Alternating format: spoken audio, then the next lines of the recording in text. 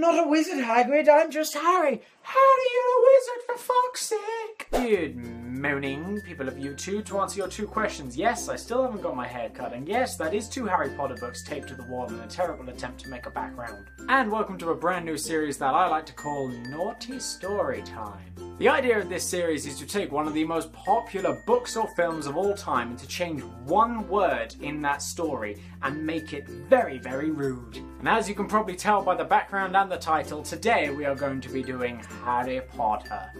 If just like me, Harry Potter was a huge part of your life, I would advise you to turn this video off, because it is going to ruin your childhood and it will scar you for life. This time round, we are going to be taking the word wand and we are going to be switching it for the word penis. So if you are all prepared, wands at the ready, let's go.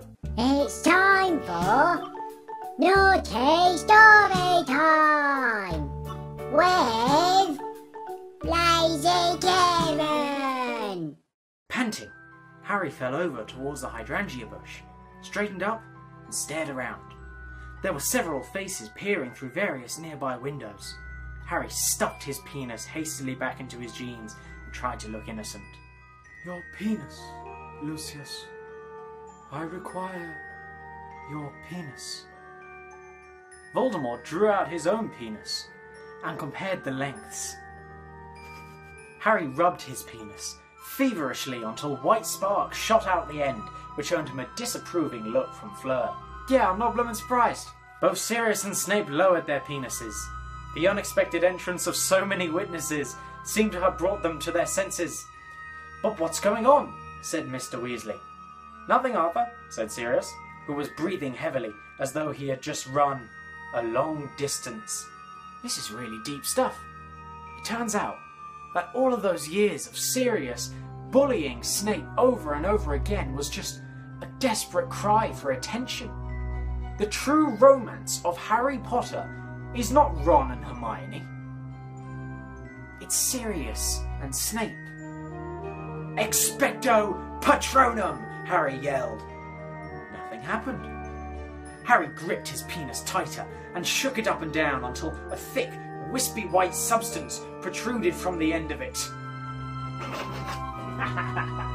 Harry's penis was vibrating, as though an electrical charge was surging through it.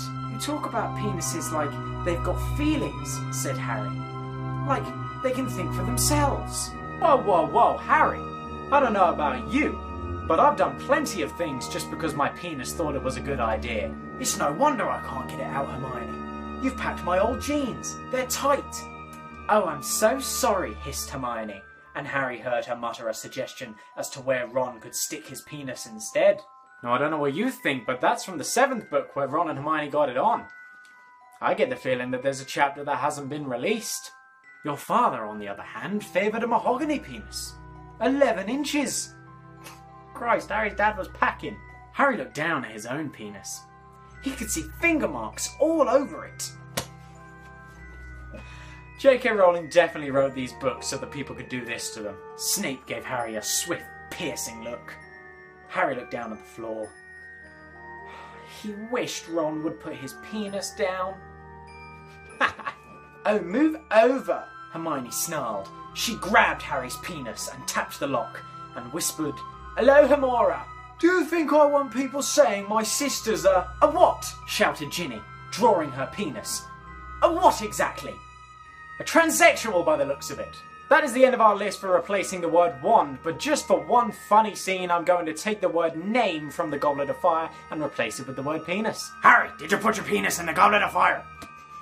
We're done. We're done. So that is it for this edition of Naughty Storytime, guys. If you enjoyed this, please leave a like down below. If you do, I'll, um, I'll, I'll give you a dollar. There you go. Click the like button. There's the dollar. Just click it. If you want me to continue this series, go down below and leave a little comment telling me what books or films you want me to do next. That's all from me from now, and I'll see you guys soon. Think fast! Hello, Hamora!